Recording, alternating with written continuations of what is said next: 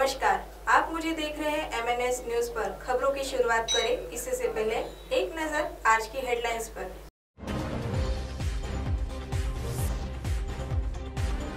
सरकार का मकसद अल्पसंख्यकों को परेशान करना थी अमित शाह। पूर्व राज्यपाल कल्याण सिंह के खिलाफ स्पेशल कोर्ट ने जारी किया समन। कारपोरेट टैक्स में कटौती पर कांग्रेस का मोदी सरकार पर हमला। पीएम मोदी को लेकर शशि थरूर ने कही बड़ी बात। विस्तार से। सरकार का मकसद अल्पसंख्यकों को परेशान करना नहीं, अमित शाह। केंद्रीय गृह मंत्री अमित शाह ने देश भर में एनआरसी लागू करने के मुद्दे पर मुस्लिम प्रतिनिधियों मंडल को शनिवार को आश्वस्त किया कि सरकार का उद्देश्य अल्पसंख्यकों को परेशान करना नहीं है। पूर्व राज्यपाल कल्याण सिंह के खिलाफ स्पेशल कोर्ट ने जारी किया समन।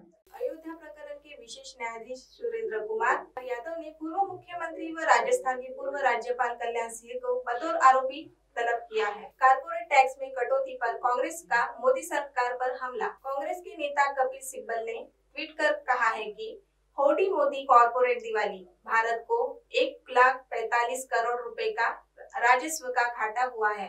जरूरतमंद लोगों के लिए दिवाली की ज़रूरत है। पीएम मोदी को लेकर शशि थरूर ने कही बड़ी बात। थरूर ने कहा है कि मैं दुनिया में यह साफ़ संदेश भेजना चाहता हूँ कि हमारे बीच देश में मतभेद हो सकते हैं, लेकिन जब देश के हित की बात आएगी तो यह भाजपा की विदेश नीति नहीं है, न ही कांग्रेस की विदेश नीति है, यह भारत की विदेश नीति है।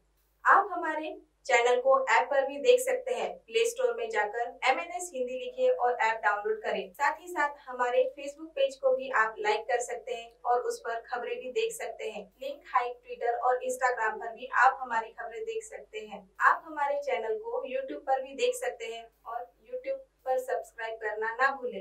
अब फ़िलहाल वक्त हो चला है एक ब्रेक का। ब्रेक से लौटने के बाद देश और दुनिया की तमाम खबरें देखने के लिए बने रहे एमएनएस न्यूज़ के साथ। नमस्कार।